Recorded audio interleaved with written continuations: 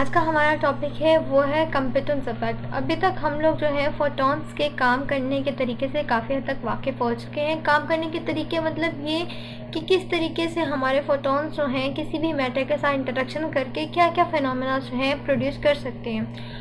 हमने बात की थी कि हमारे पास इलेक्ट्रोमैग्नेटिक रेडिएशंस हैं, जो कि बेसिकली फोटॉन्स हैं। फोटोन जब भी किसी मैटर की सरफेस के साथ जाके इंटरेक्शन करते हैं तो हमें मालूम है कि तीन तरह के फिनोमिना जो हैं, उसे प्रोड्यूस करने हैं। जिनमें से एक फिनोमिना को तो हम पढ़ चुके हैं, जो कि है फ़ोटो इलेक्ट्रिक इफ़ेक्ट इसे मैं बार बार इसलिए लिख रही हूँ ताकि आपको ये चीज़ याद हो जाए कि हमने कौन कौन से इफ़ेक्ट पढ़े हैं। दूसरा इफ़ेक्ट जिसके बारे में हमने अभी कुछ ही दिनों पहले पढ़ा है, वो है हमारे पास पेयर प्रोडक्शन इफ़ेक्ट ये हमारे पास सेकेंड इफ़ेक्ट है, जो कि इस फोटॉन्स की वजह से प्रोड्यूस होता है जब ये मैटर की सरफेस के साथ जाके इंटरेक्शन करते हैं। अब तीसरा जो है, जो कि हमारे पास लास्ट इफ़ेक्ट है, जिसके बारे में आज हमने डिस्कस करना है, वो है कंपिटेंस इफ़ेक्ट इस इफ़ेक्ट के बारे में हमने देखना है कि ये इफ़ेक्ट किस तरीके से क्रिएट होता है। हमने बात की थी स्टार्टिंग के अंदर कि हमारे जो फोटॉन्स होते हैं ना, अगर वो फोटॉन्स हमारे पास एक्सरेज के हैं तो ये जो फोटॉन्स एक्सरेज के होते हैं, ये जब किसी भी मैटर के सरफेस के साथ जाके इंटरेक्शन करेंगे तो ये जो फिनोमेना क्रिएट करेंगे या प्रोड्यूस करेंगे, उसे हम कहेंगे ये कंपिटेंस इफ़ेक्ट है। आज हम इसी इफ़ेक्ट के बारे में देखेंगे कि ये इफ़ेक्ट किस तरीके से जो है प्रोड्यूस होता है। बेसिकली जो कंपिटेंस इफ़ेक्ट है ना, इसे एक ऑर्थर हॉली कंपिटोन ने किया था, जो कि 1923 के अंदर उसने किया था, और वाशिंगटन यूनिवर्सिटी में उसने किया था। उसने ये एक्सपेरिमेंट किया और जो एक्सपेरिमेंट का रिज़ल्ट था, उस पर ही उसने ना उस एक्सपेरिमेंट को कंप्यूटर्स इफ़ेक्ट का नाम दे दिया, चूँकि उसका अपना नाम था। बेसिकली उसने क्या देखा कि जो उसके पास फोटॉन्स थे ना, वो एक्सरेज के फोटॉन्स जब वो किसी भी मैटर के साथ जाके, यानी कि उस मैटर मैटर का मतलब कुछ भी हो सकता है, कोई भी चीज़ जो मैच सकती हो और कोई भी प्लेस ऑक्यूपाई करती है उससे आप मैटर कह सकते हैं। या फिर कोई मटेरियल भी यूज़ किया जा सकता है फॉर एग्जांपल ग्रेफाइट वगैरह कुछ भी आप यूज़ कर सकते हैं। अब क्या हुआ कि ये जो फोटॉन्स हैं, ये फॉर एग्ज़ाम्पल जैसे ही मैटर के अंदर से पास किए ना तो मैं, जब ये पास करते हैं ना तो उस मैटर के अंदर मौजूद लूजली बाउंडेड इलेक्ट्रॉन्स की वजह से ये फोटॉन्स जो है स्कैटर्ड हो जाते हैं। कुछ एंगल पे स्कैटर्ड हो जाते हैं और साथ ही इस सरफेस के अंदर से जो है लूजली बाउंडेड इलेक्ट्रॉन्स भी निकल आते हैं। अब ये जो फोटॉन्स स्कैटर्ड हुए हैं ना, जैसे वो इस लूजली बाउंडेड सरफेस के अंदर से पास किए थे तो अब ये जो फोटॉन्स हैं, इनकी वेवलेंथ जिसे मैं लेमडा एस कह रही हूँ, ये पहले वाले इनिशियल फोटोन यानी कि आपके पास पी आई इसकी वेवलेंथ से भर जाती है। इसे मैं पी आई कह देती हूँ लेमडा आई तो जो स्केटर फोटोन की वेवलेंथ होती है ना, वो इनिशियल फोटोन की वेवलेंथ से इंक्रीज़ हो जाती है। जब कंप्यूटर्स ने ये देखा कि वो जब वो एक्सपेरिमेंट कर रहा था तो उसने देखा कि जब ये फोटोन स्केटर्ड हो जाते हैं तो भाई इनकी वेवलेंथ में तो इंक्रीमेंट आ जाता है, ये इंक्रीज़ हो जाते हैं अपने पहले वाले फोटोन की वेवलेंथ से। तो उसने फिर इस फिनमिना को नाम दिया कि ये कंपिटेंस इफ़ेक्ट है, जिसमें आपके फोटोन मैटर पार्टिकल जिसके अंदर लूजली बाउंडेड इलेक्ट्रॉन थे, उसके अंदर से पास करते ही स्कैटर्ड हो जाए तो स्कैटरिंग के बाद क्या होता है, इनकी वेवलेंथ के अंदर इंक्रीमेंट आ जाता है। इस चीज़ को कंपिटेंस इफ़ेक्ट कहा था। अब हम बाकायदा एक्सपेरिमेंट करके देख लेते हैं कि किस तरीके से हुआ था। करने से मुराद है कि हम यहाँ पे उसको समझ लेते हैं कि किस तरीके से वो हुआ था। यहाँ पे उसने क्या किया? एक सोर्स यूज़ किया था, जिसे एक्सरे सोर्स कहा था। इसके अंदर से जो है, बहुत ज़्यादा एक्सरेज निकल रहे थे इस तरीके से। अब क्या हुआ कि उसने ना यहाँ पे एक मेटर जो, बल्कि बेसिकली हम लोगों को यहाँ पे वो मटेरियल यूज़ करना है ना, जिसके अंदर से, जिसके साथ उसने हिट किया। फॉर एग्ज़ाम्पल ये यहाँ पे उसने ग्रेफाइड यूज़ कर लिया। ये ग्रेफाइड है। जिसे उसने यूज़ किया एज अ मेट जो है उसके पास टारगेट मेटल के तौर पर। तो अब क्या होता है कि ग्रेफाइट के अंदर से जैसे भी ग्रेफाइट को हिट करते हैं ना तो ग्रेफाइट में मौजूद लूजली बाउंडेड इलेक्ट्रॉन की वजह से ये जो फोटॉन्स है ना, ये सम एंगल पे क्या होता है स्केटर्ड हो जाते हैं। अब ये जो हमारा फोटोन था इनिशियल फोटोन यहाँ पे जो था अब ये जैसे लूजली बाउंडेड इलेक्ट्रॉन की जैसे स्केटर्ड हुआ है तो स्केटर्ड होने के बाद अब इसकी जो वेवलेंथ है, वो वेवलेंथ पहले वाली वेवलेंथ से इंक्रीज होगी। और साथ ही साथ क्या हुआ कि इलेक्ट्रॉन जो लूजली बाउंडेड इलेक्ट्रॉन वो भी इजेक्ट हो गया। अब ये जो स्कैटर्ड इलेक्ट्रॉन हमारे पास फोटोन था ना, वो बेसिकली कुछ एंगल पे स्कैटर्ड होता है। यहाँ पे फॉर एग्जांपल ये एंगल है जिस पे वो स्कैटर्ड होता है। इसे मैं कह लेती हूँ कि ये मेरे पास ठीठा है। और इसके साथ ही क्या हुआ कि उसने यहाँ पे एक डिटेक्टर यूज़ किया हुआ था यहाँ पे ना, बल्कि रुको, मैं इसको ना इस तरह से बनाती हूँ कि वो जो मेटल डिटेक्टर था ना, वो कुछ इस शेप का था। ये आपके पास जो है ये, और यहाँ पे उसने एक डिटेक्टर यूज़ किया था। ताकि वो इन स्केटर्ड होने वाले फोटोन्स की वेवलेंथ को जो है डिटेक्ट कर सके। ये बिल्कुल इसके क्लोज था बहुत ज़्यादा ना तो डिटेक्टर से उसे ये पता चल गया था कि वेवलेंथ में कितना इंक्रीमेंट आ रहा है। अब एक और भी चीज़ उसने यूज़ की थी जिससे मैं यहाँ मिस कर गई। उसने ना यहाँ पे एक नैरो स्लिट्स भी लगा ली थी ताकि जो आपके पास फोटोन्स हैं ना, उनमें से काफ़ी ज़्यादा एक्सरेज जो आ रही हैं, लेकिन उसने सिर्फ़ एक ही एक्सरे की बीम को यहाँ से पास कराया था, यानी कि सिर्फ़ एक ही फोटोन की अंदर गई थी, जो इस ग्रे फाइट के साथ हिट की और हिट करने के साथ क्या हुआ कि यहाँ से जो है स्केटर्ड होके फोटोन जो है, वो इस तरफ़ को निकल गया और जो आपके पास इलेक्ट्रॉन था, वो भी एक एंगल पे आ गया। उस एंगल को आप कह लें कि आपके पास फाई है ये ठीचा था और ये आपके पास फाई आ गया। अब जैसे कि हमें, आपको याद होगा कि हमने पेयर प्रोडक्शन में बात की थी कि पेयर प्रोडक्शन इफ़ेक्ट जो है, उस वक्त वैलिड होता है अगर उसमें law of conservation of energy और law of conservation of momentum conserved रहे। तो इसी तरह से इसमें क्या बात है? इसमें भी कंजर्वेशन का लॉ जो है अप्लाई होता है। अब जो लॉ ऑफ़ कंजर्वेशन ऑफ़ बल्कि law of conservation of energy basically हमारे पास जो है, इस एनर्जी के अकॉर्डिंग इस लॉ के अकॉर्डिंग तो होना ये चाहिए कि हमारा जो इनिशियल फोटोन है उसकी एनर्जी जो है और जो बाद वाले, यानी कि स्कैटर्ड होना स्कैटर हमारे पास फोटोन है, उसकी एनर्जी और साथ ही साथ उस इलेक्ट्रॉन की एनर्जी जो यहाँ से निकला है लूज यानी कि जो इलेक्ट्रॉन निकला है, वो भी तो कुछ एंगल भी निकला है ना? तो उसने मूव किया, यानी कि जो लूजली बाउंडेड इलेक्ट्रॉन मूव किया, उसकी भी कोई ना कोई काइनेटिक एनर्जी होगी। ज़ाहिर सी बात है, उसको यहाँ से निकालने के लिए और मूव कराने के लिए कुछ ना कुछ तो एनर्जी रिक्वायर्ड हुई होगी। जैसे कि वो एनर्जी इस फोटोन की स्कैटरिंग में रिक्वायर्ड थी। तो अब यहाँ पे जो फोटॉन्स की एनर्जी है, इनके स्कैटर्ड हुए फोटॉन्स की जो एनर्जी है, इसी तरीके से इसकी एनर्जी और जो हमारे पास इलेक्ट्रॉन लूजली बाउंडेड इलेक्ट्रॉन है उसकी एनर्जी का जो सम है, वो बेसिकली इक्वल होना चाहिए हमारे इनिशियल फोटोन की एनर्जी के बराबर। तो अगर वो उसके बराबर हो जाएगा, तभी हम कह सकते हैं कि यहाँ पे law of conservation of energy जो है वैलिड है। बेसिकली अगर मैं देखूँ तो मेरे पास यहाँ पे जो एनर्जी आती है, इसकी, इस फोटोन की एनर्जी वो एनर्जी को मैं लिख सकती हूँ एच इंटू एफ़ आई इसी तरीके से मेरे पास ये वाला जो इलेक्ट्रॉन है, जो कि ये वाला जो फोटोन है, जो कि स्कैटर्ड हुआ है, इसे मैं लिख सकती हूँ कि ये मेरे पास एच इंटू एफ़ स्कैटर्ड है चूँकि स्कैटर्ड हो चुका है, इसलिए मैं इसको एस लिख सकती हूँ। और ये वाला जो इलेक्ट्रॉन है, इसे मैं एम सी स्केयर की तरह लिख सकती हूँ चूँकि यहाँ पे जो एनर्जी है, उसे मैं इस तरीके से बता रही हूँ, जैसे कि मैंने पेयर प्रोडक्शन में बताया था कि rest mass energy of electron similarly यहाँ पे भी rest mass energy of electrons बताई जा रही है, जो कि एम सी स्केयर के इक्वल है। और ये हमारे पास वो वाली एनर्जी है जो इस इलेक्ट्रॉन की, जो कि लूजली बाउंडेड इलेक्ट्रॉन है। अब ये वाली जो इक्वेशन थी ना, इसे कंप्यूटर ने कहा था कि ये उसकी फ़र्स्ट इक्वेशन है। अब जैसे हमने law of conservation of energy की बात की और एक इक्वेशन ड्राइव कर ली, इसी तरीके से मुझे law of conservation of momentum के लॉ को भी जो है देखना होगा, उसको भी देखना पड़ेगा कि आया कि वो वैलिड हो रहा है या नहीं हो रहा। अब अगर मैं यहाँ पे बात करूँ कि law of conservation of momentum sorry यहाँ पे मोमेंटम लिखना चाहिए था।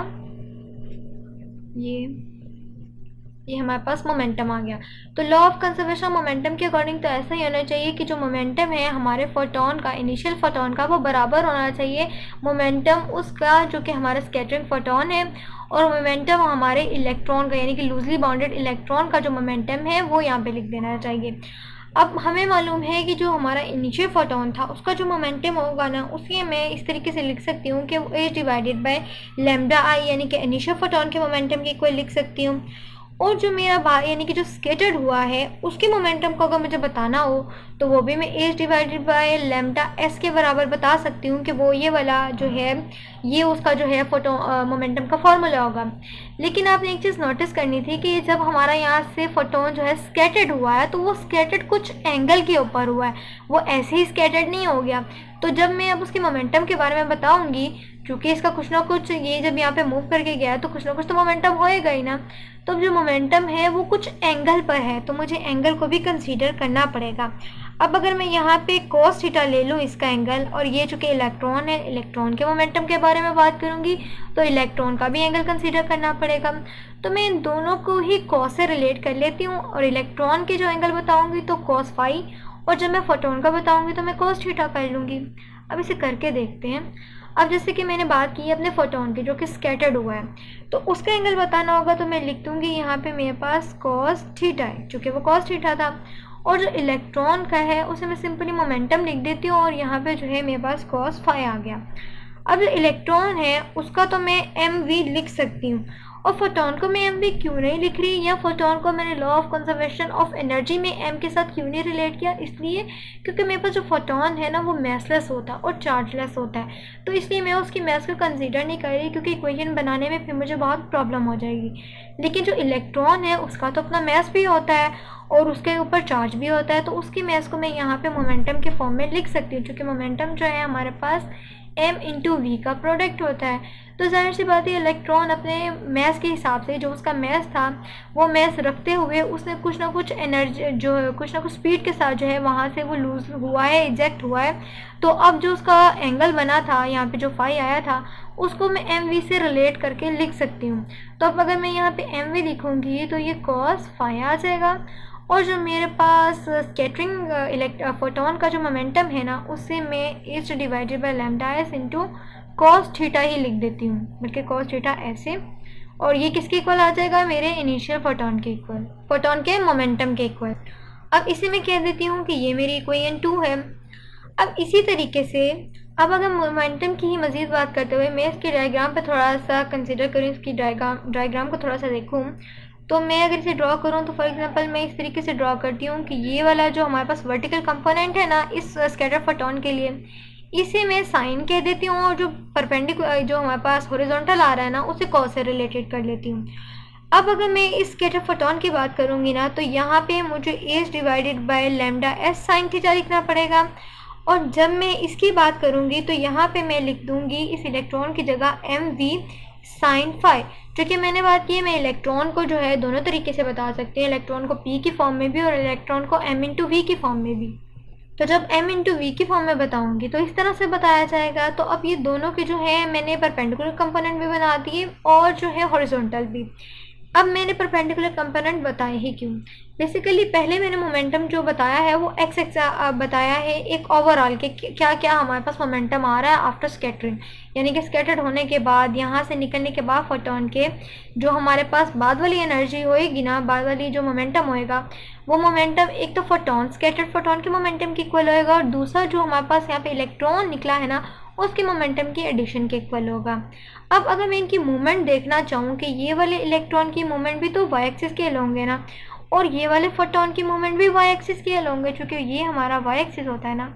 पर फ़र्क ये है कि जो मोमेंटम है ना, या आप फॉर एग्जांपल कंसीडर कर लीजिए कि ये जो मूवमेंट कर रहे हैं, जो इनमें मूवमेंट आई है, अब ये वाला जो फोटोन है ना मेरे पास, ये भी वाई एक्सिस के अलोंग है। ये इलेक्ट्रॉन जो है अगर मैं इसके कंपोनेंट की बात करूँ साइन टीटा की तो ये भी वाई एक्सिस के अलोंग है। लेकिन दोनों की डायरेक्शन ऑपोजिट है। इलेक्ट्रॉन नीचे डाउनवर्ड आ जाता है और अगर आप फोटोन को देखें तो वो स्कैटरिंग के बाद जो है अपवर्ड डायरेक्शन में जा रहा है।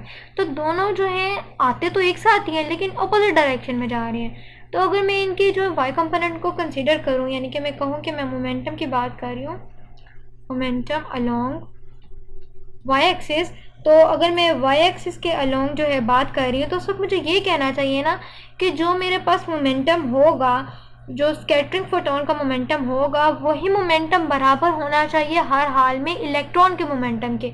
अगर ये दोनों मोमेंटम बराबर होंगे तभी तो ये चीज़ जो है लॉ ऑफ़ कंजर्वेशन मोमेंटम की जो है आ, जो है मैं कहती हूँ वैलिड हो सकेगी ना। या आप दूसरी तरह से इसे ये भी सम, जो है समझ सकते हैं इस तरीके से। सपोज़ कर लीजिए कि अगर आप किसी चीज़ को कोई भी चीज़ हो अगर आप उसको वाई एक्सिस की डायरेक्शन में देख रहे हो यानी कि अगर मैं ये कहूँ कि आप जो आपने वो एक चीज़ पढ़ी है मैथ्स के अंदर कि अगर मैं बात कर रही हूँ कि ये मेरे पास वाई एक्सिस के ऊपर दो पॉइंट्स हैं तो अगर वाई पे इस वक्त मेरे पास जो पॉइंट है यहाँ पे फॉर एग्जांपल फोर है और ये सिक्स है तो उस वक्त मेरे पास एक्स की वैल्यू क्या होगी? ऑब्वियस से बात है कि मेरे पास जो एक्स की वैल्यू है, वो इस वक्त ज़ीरो होगी। तो अगर आपको ये चीज़ नहीं समझ आ रही तो हम इसे एक और तरीके से भी समझ सकते हैं कि हम बात कर रहे हैं अलॉन्ग वाई एक्सेस तो फिर इसका मतलब है कि जो एक्सिस एक्सिस एक्स एक्सिस है हमारे पास, उस वक्त जो मोमेंटम है, वो ज़ीरो ही होएगा। तो वाई एक्सिस के ऊपर जो मोमेंटम होगा, वो हमारे पास दो मोमेंटम होंगे एक तो वो मोमेंटम जो स्केटर फोटोन का मोमेंटम है और दूसरा वो मोमेंटम जो इलेक्ट्रॉन का मोमेंटम है। लेकिन अब मसला ये है कि मैं इनके दरमियान जो साइन लगाना है, वो साइन कौन सा लगाऊँ? अब मुझे मालूम है कि अगर मैं इस तरह से ये ग्राफ ड्रॉ करूँ, या इस तरीके से मैं आपके पास कोऑर्डिनेट एक्सेस ड्रॉ करूँ, और मैं ये कहूँ कि मेरे पास एक पॉइंट जो है, वो ये आ गया, बल्कि डिफरेंट मार्कर से बना के समझाती हूँ। कि एक मेरे पास पॉइंट ये आ गया और दूसरा पॉइंट मेरे पास ये आया। तो अब अगर मैं इसके कोऑर्डिनेट्स लिखूं तो मैं यही कहूँगी कि ये ज़ीरो और सिक्स है। और अगर इसके कोऑर्डिनेट लिखूँ तो मैं यही कहूँगी कि ये ज़ीरो और फोर है। लेकिन फोर इस वक्त माइनस फोर है, क्योंकि ये वाई एक्सिस के अलोंग है नेगेटिव वाई एक्सिस के अलोंग और ये जो चीज़ है, ये पॉजिटिव वाई एक्सिस के अलोंग है। तो जब हमने पीछे डायग्राम बनाई है तो हमने यही कहा कि जो स्केटर्ड फोटोन है, वो अलोंग वाई एक्सिस था और जो मेरे पास इलेक्ट्रॉन था, वो अलोंग नेगेटिव वाई एक्सिस था। तो अब इन दोनों में जो है साइन कौन सा आना चाहिए? नेगेटिव का। तो अगर आपको पहली वाली चीज़ नहीं समझ आ रही थी तो इस तरीके से आपको समझ आ जाएगी कि मैंने एक्स को ज़ीरो क्यों सपोज़ किया है और किस तरीके से मैंने इन दोनों मोमेंटम को इक्वेट किया है। तो अब अगर मैं जो स्केटर फोटोन का मोमेंटम यहाँ लिख लूँ और जो इलेक्ट्रॉन है, उसका मोमेंटम यहाँ लिख लूँ तो ये बात जो है आपको समझ आ जानी चाहिए कि किस तरीके से मैंने इन दोनों को इक्वेट किया है। अब मेरे पास जो स्केटर्ड फोटोन है, उसका अगर मैं मोमेंटम लिखूँ तो मुझे मालूम है h divided by lambda s आएगा। लेकिन चूँकि वर्टिकल कंपोनेंट की बात कर रही हूँ तो यहाँ पे मेरे पास साइन जो है ठीटा आ जाना चाहिए चूँकि मैंने फोटोन के लिए ठीटा को रखा है। और अगर मैं इलेक्ट्रॉन की बात करूँ तो उसके लिए मैं एम वी लिख सकती हूँ और उसके साथ साइन फाई आ जाएगा चूँकि मैंने इलेक्ट्रॉन का जो एंगल था जिसपे वो निकला, उसे फाई कंसिडर किया था।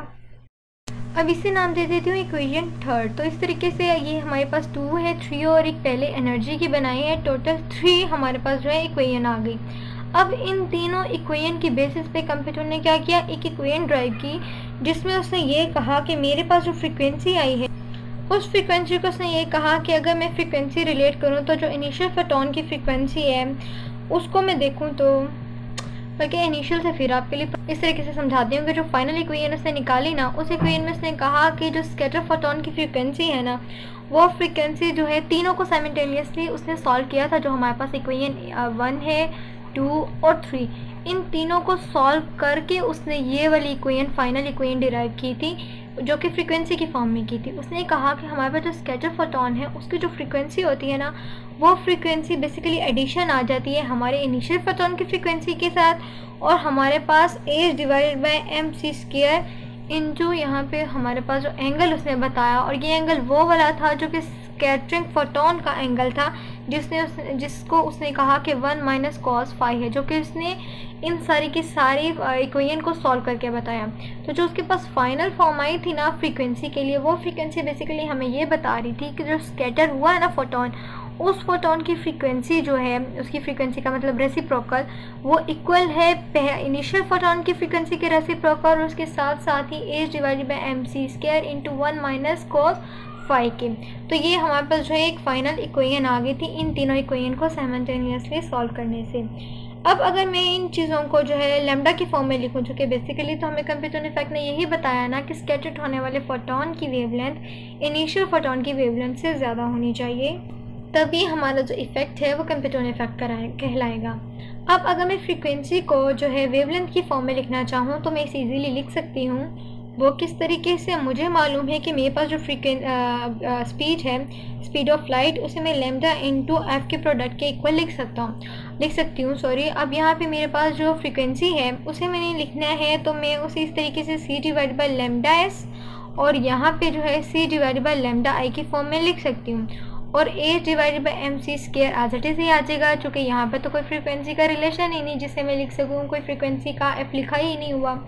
तो अब अगर मैं इसे देखूँ तो ये मेरे पास lambda s divided by c आ जाएगा, ये lambda one divided by c आ जाएगा, और यहाँ पे h divided by m c square into one minus cos five आ जाएगा।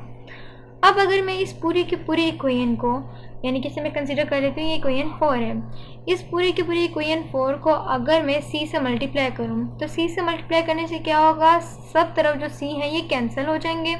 और यहाँ पर मेरे पास लेमडा एस बचेगा, यहाँ लेमडा वन बचेगा, यहाँ पे h divided by m c आएगा, और यहाँ वन माइनस कॉस फाइव आएगा। अब ये मैंने किया क्यों? ये मैंने इसलिए किया क्योंकि मुझे तो बेसिकली सिर्फ़ लेमडा की फॉर्म में इक्वेशन चाहिए ना, क्योंकि मुझे लेमडा के बारे में बताना है कि लेमडा में कितना इंक्रीमेंट आया। तो मुझे सी के बारे में तो ज़रूरत ही नहीं है। तो सी को सी को क्यों ना मैं नीचे डिनोमिनेटर से कट कर दूँ? तो इसलिए मैंने उसको सी से मल्टीप्लाई कर दिया।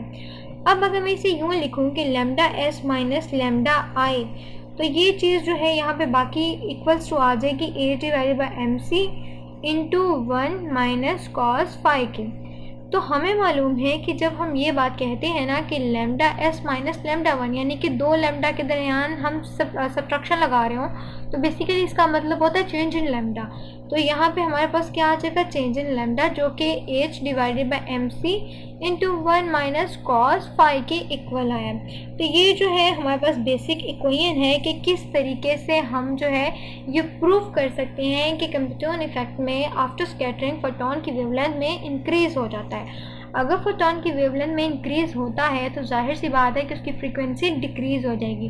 क्योंकि वेवलेंथ और फ्रीक्वेंसी आपस में जो है इन्वर्सली रिलेटेड है। तो जो फ्रीक्वेंसी होगी फोटोन की, वो लेस देन हो जाएगी इनिशियल फोटोन की फ्रीक्वेंसी से। अब इस चीज़ को हम लोग कहते हैं कि हमारे पास जो है कंप्यूटेंस शिफ्ट है। इससे हम बता देते हैं कि ये कंप्यूटेंस शिफ्ट है। कंप्यूटेंस शिफ्ट का मतलब कि हमें क्या फ़ायदा होता है? हम इसे ये बता सकते हैं कि जब एंगल थीटा जो यानी कि जो हमारा यहाँ पर आ रहा है एंगल जो कि आप फाई कह लें या थीटा कह लें इसे, जो भी आपका एंगल यहाँ पे यूज़ हो रहा है फॉर एग्जांपल मैं कंसिडर कर लेती हूँ कि ये मेरे पास एंगल जो है फाई है।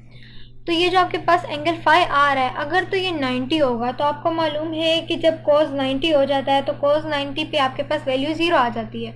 तो उस वक्त जो चेंज इन लेमडा है, वो a divide by m c के इक्वल आ जाएगा। अगर आपके पास ये जो एंगल है, जो कि अभी फाइव है, अगर वो ज़ीरो हो जाए तो उस वक्त क्या होता है? यहाँ पे आपके पास जो है, ज़ाहिर सी बात है कॉस फाइव आएगी तो कॉस फाइव वन ज़ीरो पे वन हो जाती है तो वन माइनस वन ज़ीरो हो जाएगा। अब ये चीज़ ज़ीरो होने की वजह से इस सारे के सारे प्रोडक्ट को ज़ीरो कर देगी, जिसकी वजह से लेमडा जो है, हमारे पास डेल्टा लेमडा वो ज़ीरो हो जाएगा।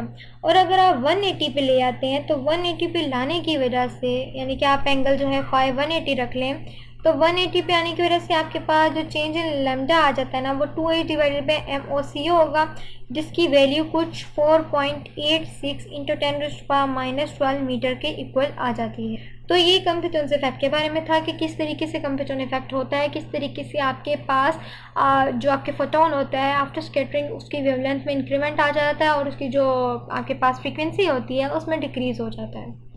बेसिकली तो हमारे पास जो कंप्यूटन इफ़ेक्ट हैं, वो और पेयर प्रोडक्शन इफ़ेक्ट जो है, आपस में एक दूसरे के इन्वर्सली हैं, लेकिन इनमें कुछ बातें जो हैं कॉमन भी हैं। कॉमन ये है कि ये दोनों जो है क्लासिकल थेरी के ऊपर जो है एक्सप्लेन नहीं किए जा सकते। दोनों में जो फोटोन्स होते हैं, वो हमारे पास रेडिएशन ऑफ़ लाइट के होते हैं, क्योंकि हम इसमें जो सी यूज़ कर रहे हैं, ये c basically speed of light के लिए होता है। ये जो सी है, मेरे पास ये स्पीड ऑफ़ लाइट के लिए, जो कि three into ten power eight है, ये मेरे पास स्पीड ऑफ़ लाइट के लिए आ जाता है। इसीलिए हम कहते हैं कि इसमें जो रेडिएशन आ रही होती है ना, जो फोटोन होते हैं, वो रेडिएशन लाइट के होते हैं। यानी कि किस के होते हैं? हम लोग लाइट की रेडिएशन के फोटोन जो हैं यूज़ कर रहे हैं। और तीसरी बात जो इसमें ये है कि हमारे इलेक्ट्रोमैग्नेटिक रेडिएशन दोनों ही के अंदर पेयर प्रोडक्शन इफ़ेक्ट के अंदर भी और कंप्यूटर्स इफ़ेक्ट के अंदर भी, किसके साथ इंटरेक्शन करती है? मैटर के साथ। और तभी हमारे पास क्या होता है? दोनों के दोनों इफ़ेक्ट प्रोड्यूस होते हैं। लेकिन दोनों में डिफरेंस भी है। डिफरेंस ये है कि जो हमारे पास कंप्यूटर्स इफ़ेक्ट है ना, वो एक्सरेज के होते हैं। जबकि हमारे पास जो पेयर प्रोडक्शन है, वो हमारे पास आ जाता है। यहाँ पे मैं पेयर लिख देती हूँ और ये हमारे पास कंप्यूटर है। अब जो पेयर प्रोडक्शन है, वो हमारे पास किस तरह से आता है? वो गैमा रेस के साथ इंटरेक्शन की वजह से आता है। अब जो हमारे पास, इन दोनों में तो यही फ़र्क आ जाता है। अब जो हमारे पास कंप्यूटर इफ़ेक्ट है, वो और जो हमारे पास फ़ोटो इलेक्ट्रिक इफ़ेक्ट है। फ़ोटो इलेक्ट्रिक इफ़ेक्ट में क्या होता है कि यहाँ पर भी हमारे पास जो, इनकी जो सिमिलैरिटीज़ हैं, वो भी यही है कि क्लासिकल थेरी को नहीं, उसके ऊपर जो है एक्सप्लेन नहीं होते। यहाँ पर भी रेडिएशन लाइट की यूज़ की जा रही होती हैं। यहाँ पर भी जो स्पीड होती है, वो स्पीड ऑफ़ लाइट के इक्वल होती है। यहाँ पे हम लोग क्या करते हैं कि जो हम लोग रेडिएशन यूज़ कर रहे होते हैं ना, वो रेडिएशन बेसिकली हमारे पास, वो अल्ट्रा वायलेट रेडिएशन होती हैं या विजिबल रीजन में लाइक करने वाली रेडिएशन होती है। और यहाँ पे हमारे पास एक्सरेज होती हैं। और यहाँ पे जो हमारे पास जो हमारे पास कंप्यूटर्स इफ़ेक्ट होता है, वो उस वक्त क्रिएट होता है जब हमारे जो फोटोन्स हैं, वो लूजली बाउंडेड इलेक्ट्रॉन्स की वजह से स्कैटर्ड होते हैं। जबकि यहाँ पे जो फ़ोटो इलेक्ट्रिक इफ़ेक्ट है, ये उस वक्त क्रिएट होता है जब लाइट किसी मेट्रिक के मेटल की सरफेस के ऊपर फॉल करे और उसके अंदर से इलेक्ट्रॉन को इंजेक्ट करा दे। तो ये इन तीनों इफ़ेक्ट का आपस में था कि किस तरीके से एक दूसरे के साथ रिलेट होते हैं और किस तरीके से एक दूसरे से डेविएट होते हैं। तो ये आज हम लोगों ने कंप्यूटर इफ़ेक्ट के बारे में पढ़ा है कि इसे हम किस तरीके से जो है इसकी क्वेश्चन को सॉल्व कर सकते हैं और बता सकते हैं कि किस तरीके से कंप्यूटर इफ़ेक्ट हुआ था। कंप्यूटर ने किस तरीके से प्रूव किया था कि स्कैटरिंग के बाद फोटोन की वेवलेंथ में इंक्रीज़ हो जाता है।